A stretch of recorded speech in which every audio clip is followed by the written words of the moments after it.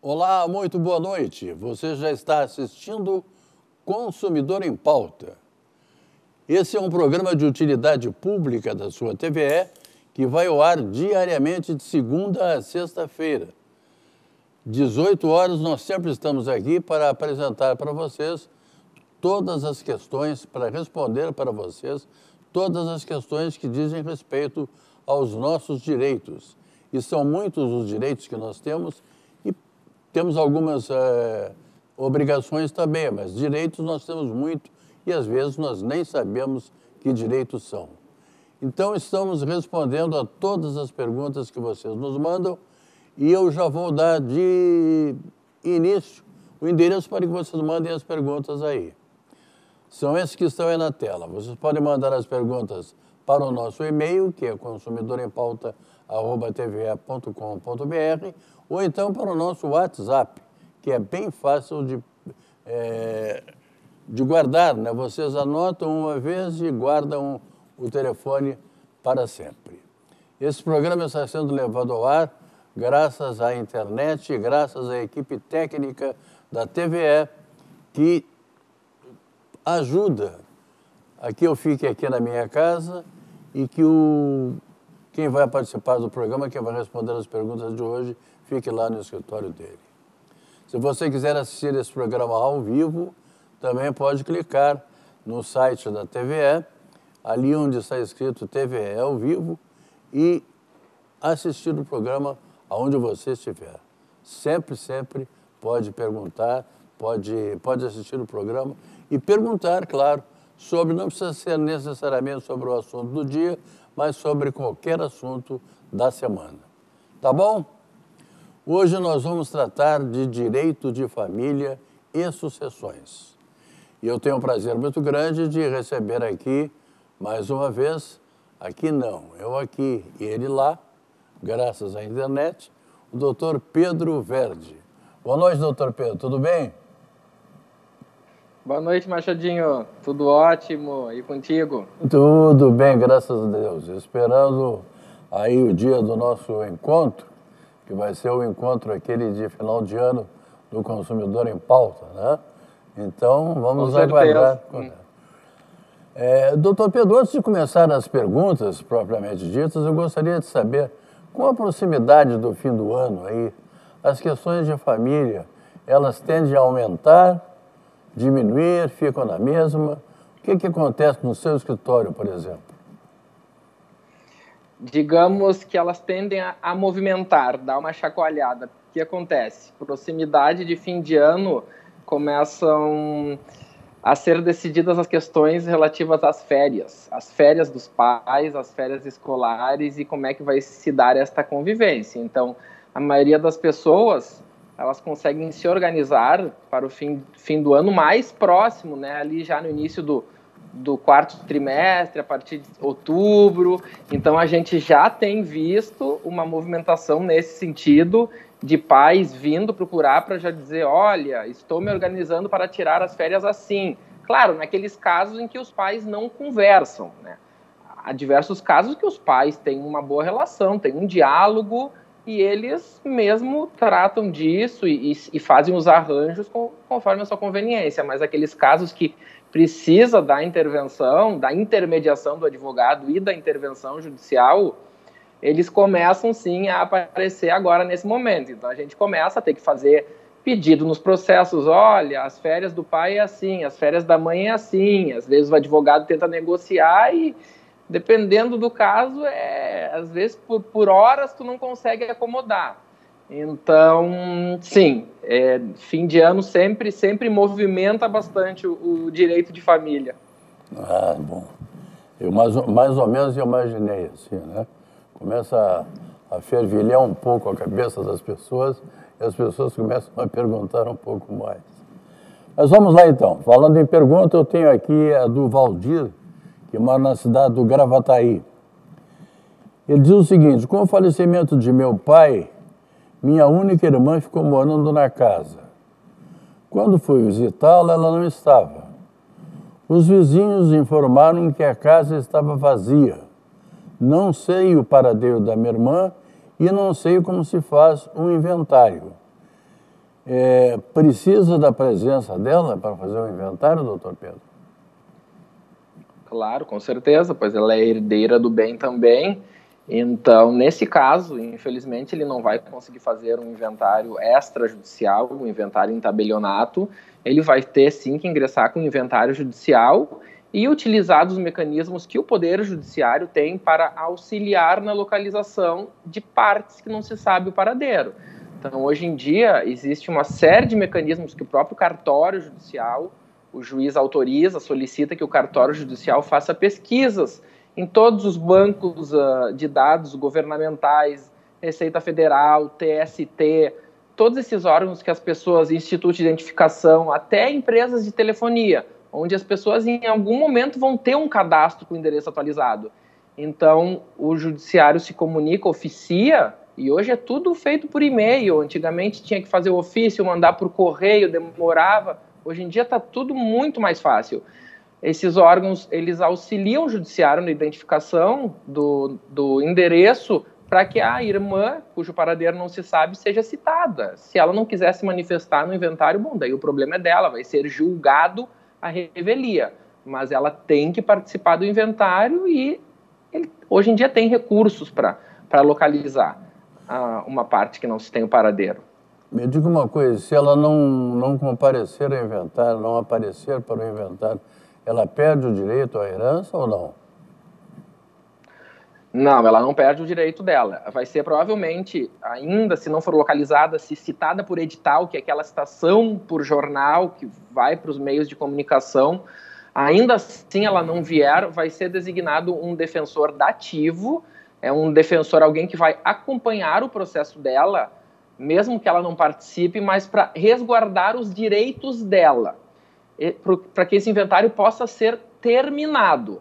Agora, se ainda assim o inventário terminar, a partilha for feita, o, o, nosso telespectador receber a parte dele, bom, a parte dela, se não aparecer ninguém, vai ficar à deriva, né? Por algum tempo ali, até que, enfim, não sei se ela falecer, depois isso vire herança jacente, que se chama, né, quando não tem... Bom, no caso, até esse telespectador é irmão, ele seria herdeiro dela. Mas não, ele, ele pode, ele vai ter um, um, um, procurador dativo, que se chama, que é quando não tem uma parte, não, não, se, não aparece, é um procurador, pode ser um defensor público, ou pode ser um, um, os cartórios têm um banco de advogados dativos que são remunerados pelo judiciário para atuarem em processos que não se localizou uma das partes, apenas para resguardar as questões legais do trâmite dos processos. No meu tempo, de quando eu era mais moço, isso já não faz muito tempo, mas algum tempo atrás, as pessoas diziam assim: olha, esse dinheiro vai ficar para a justiça, vai ficar para o governo. E o que, que elas tinham de razão nisso aí, doutor Pedro? Vai para o município, se não é para o município. É, isso, isso chama atenção um pouco porque a gente geralmente é, é Estado, é União. Se uma pessoa não tem herdeiros uh, localizados, identificável nenhum herdeiro, é, é, é declarada herança uh, vacante e herança jacente. São duas etapas. E o dinheiro é encaminhado para o município, é recolhido para os cofres públicos do município. Tá bom. Deviam recolher para mim, né? Porque eu sou um cara que anda. Bom, só uma brincadeira. bom, temos aqui a pergunta da dona Regina, que mora na cidade de Três Coroas. Meu pai está vivo e tem um imóvel. Minha mãe faleceu e gostaríamos de saber se meu pai, que foi casado com comunhão universal de bens, pode vender o imóvel. Pode, doutor Pedro? Tem que ser inventariado. Né? Em razão do regime de bens, na comunhão universal, todos os bens se comunicam. Celebras um casamento pelo regime da comunhão universal, que era bem comum antigamente, os bens particulares, os herdados, os recebidos a título de doação, passam a ser do casal. Então, se houve o falecimento de um dos, dos integrantes do casal, tem que ser inventariado para separar a meação e a cota que vai ser herdada pelos herdeiros. Então, tem que ser inventariado para ser vendido. Tem a pergunta aqui de uma pessoa que pede para não ser identificada, é um anônimo. É, tenho uma filha de oito anos que viajou com minha ex-mulher para outro estado. Pergunto se eu não teria, se eu não deveria ter pedido, que ela, se ela não deveria ter pedido permissão para mim. Não sei o estado e, consequentemente, não sei o endereço delas. Olha, veja só que a forma como o telespectador nos submeteu a questão já dá para perceber que a situação é bem delicada, porque existem diversos casos em que um ou outro mudam de cidade em razão de uma oferta profissional, de uma, de uma oportunidade de trabalho, ok, isso faz parte, acontece, e às vezes as famílias se adaptam a isso.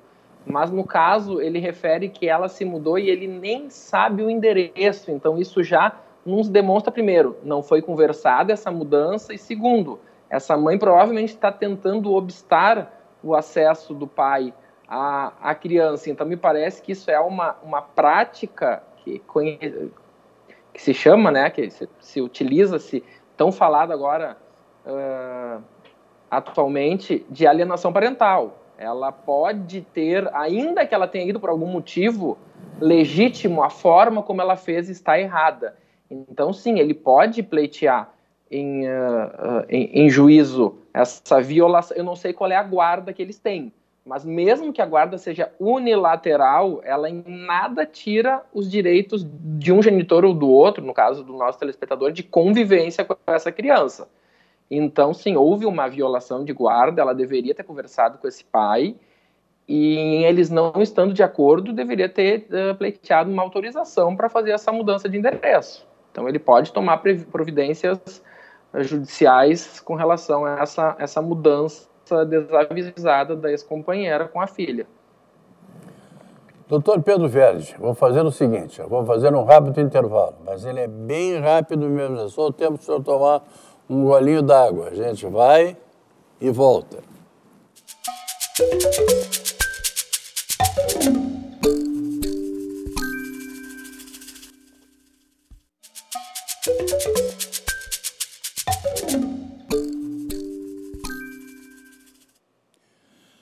Programa que você está assistindo é o Consumidor em Pauta e hoje nós estamos tratando de direito de família e sucessões. Estou conversando aqui com o doutor Pedro Verde, que depois eu tenho um detalhezinho que eu vou conversar com o doutor Pedro Verde aqui sobre a nossa, a nossa vida, mais principalmente sobre a minha vida particular, mas isso é um outro detalhe, tá? Lembrando que vocês podem mandar as perguntas para esses endereços que estão aí. Vou colocar na tela. Pode mandar para o, o nosso e-mail, que é esse que está aí, e pode mandar também para o nosso WhatsApp, que também está aí na tela, para que vocês usem e abusem do direito de fazer perguntas. Elas chegam em grande número e todas elas serão respondidas. Esse programa está no ar graças à equipe técnica da TVE, que nos permite colocar via internet no ar, eu aqui e o doutor Pedro lá no escritório dele. É, eu disse para vocês que eu estou tratando de direito de família e sucessões. E, eu, e o doutor Pedro, eu gostaria de saber o seguinte, doutor Pedro.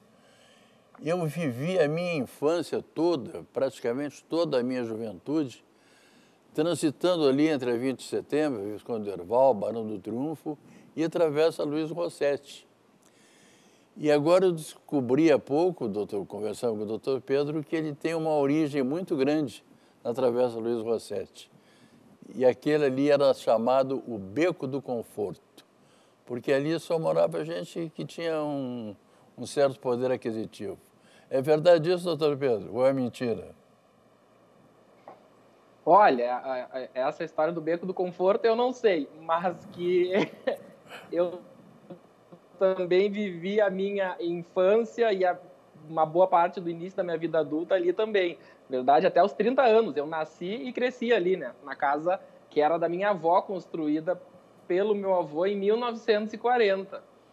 E a minha mãe saiu recentemente, acabamos de vender a casa. Mas ah, eu é. cresci ali também. Minha mãe cresceu e eu cresci ali.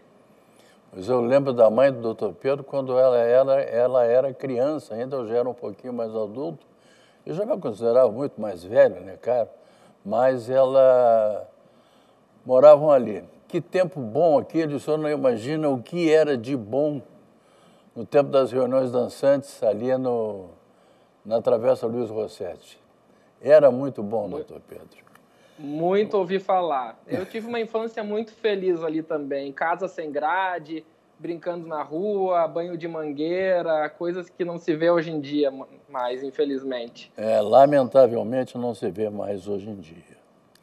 Então vamos lá, vamos seguir nas perguntas. Eu queria fazer esse, esse intervalinho aqui para conversar com o doutor Pedro Verde e fazer alguma reminiscência de alguma coisa que ficou e que nunca vai sair da nossa lembrança.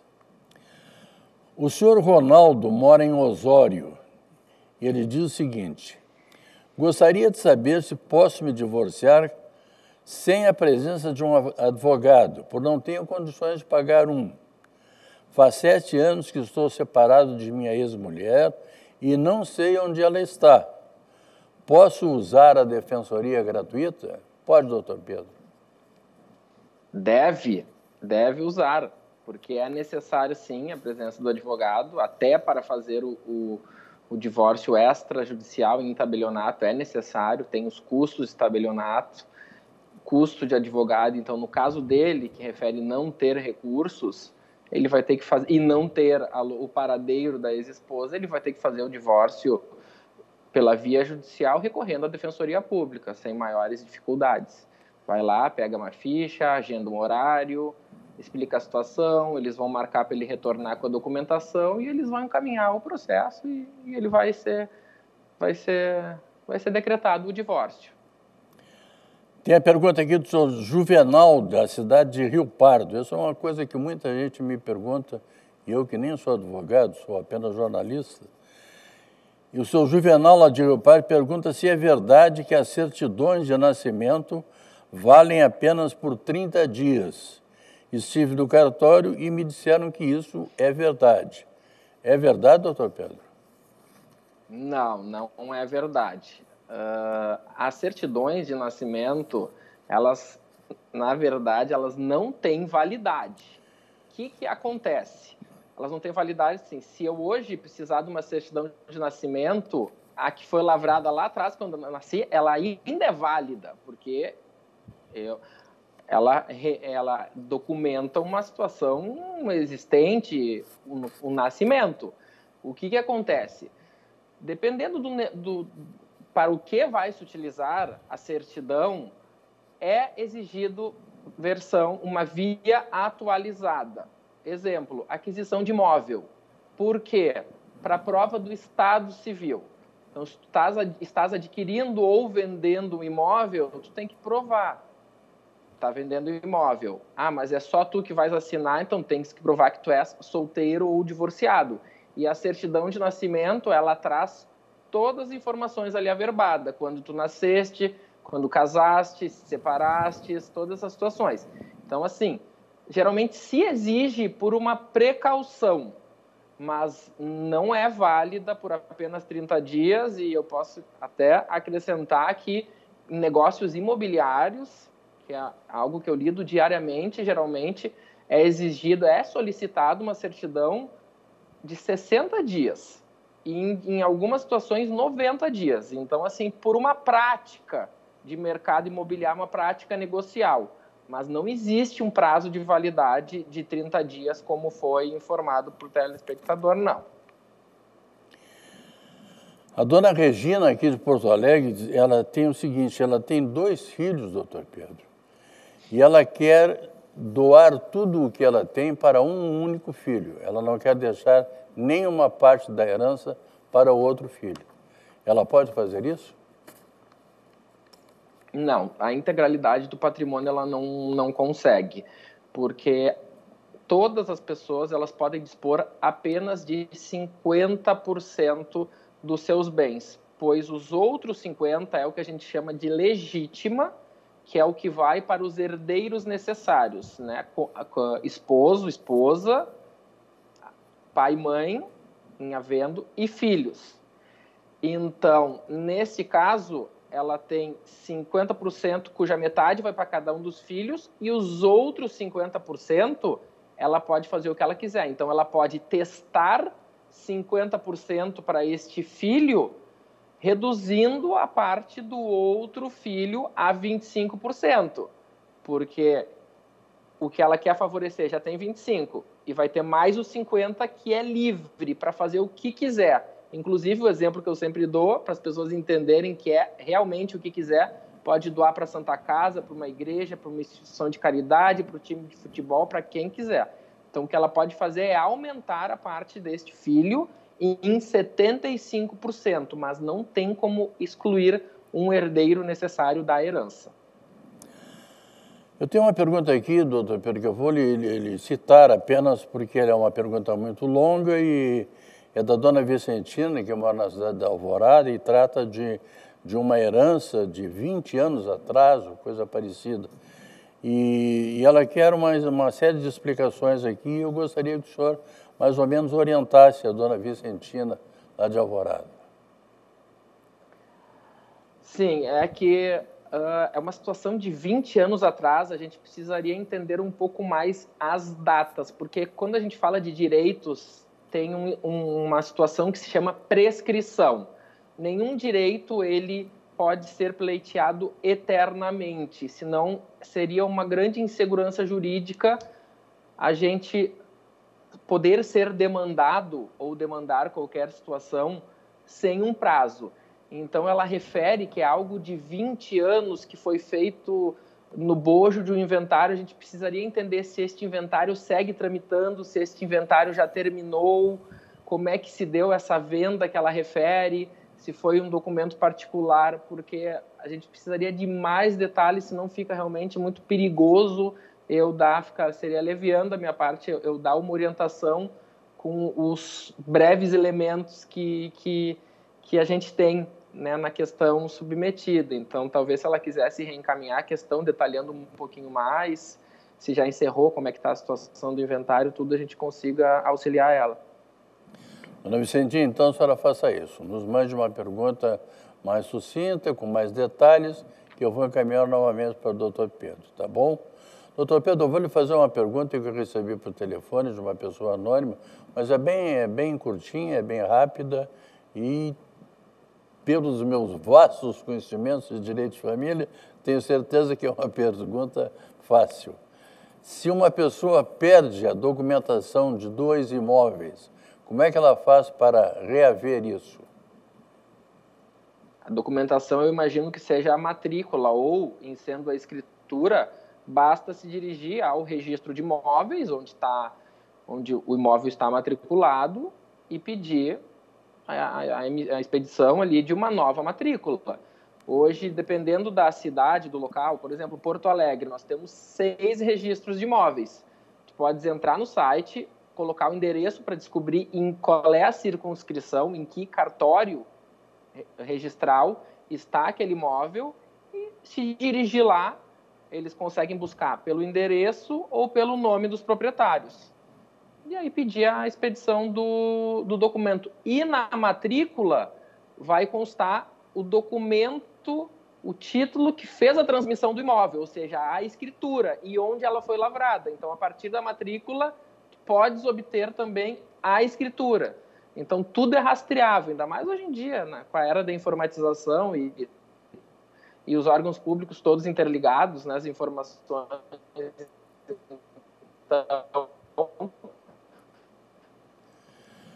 Então, pelo registro de imóveis, o nosso, nosso telespectador consegue obter a documentação. O senhor Marlon de Gravataí diz que ele é casado e tem. Ele é casado no papel com a esposa dele, mas ele tem uma filha de um outro casamento que ele teve. E ele gostaria de saber o seguinte: eu e minha esposa compramos uma casa. Quando ele vier a falecer, a filha dele, a filha que é do primeiro casamento, terá direito a tirar a minha esposa da casa dela? E ele quer saber também, o seu Marlon, se tem como ele fazer um papel para que minha esposa possa continuar na casa até o falecimento e depois da minha filha faz o que ela bem entender com a casa. Pode, doutor Pedro? Na verdade, o nosso telespectador não precisa fazer nada, pois uh, essa a, a companheira dele está amparada pelo que o nosso direito civil um instituto que o nosso direito, nosso Código Civil prevê, que se chama direito real de habitação. Isso significa que quando um dos cônjuges falece, o outro tem o direito de permanecer no lar conjugal até enquanto viver. Então, a filha do tele, nosso telespectador, ela tem, inegavelmente, os direitos patrimoniais de propriedade, é herdeira, vai ser proprietária, mas a posse, a residência, o direito de, de uso do imóvel é da companheira ou esposa, indiferente, sobrevivente. Doutor Pedro Verdes, tive um prazer muito grande em conversar com o senhor aqui durante esse programa e relembrá-lo que as portas estão sempre abertas, o senhor vem sempre que o senhor quiser. Amanhã eu estaria de volta aqui às 18 horas para apresentar mais um Consumidor em Pauta. A todos vocês, muito obrigado, muito boa noite e até lá.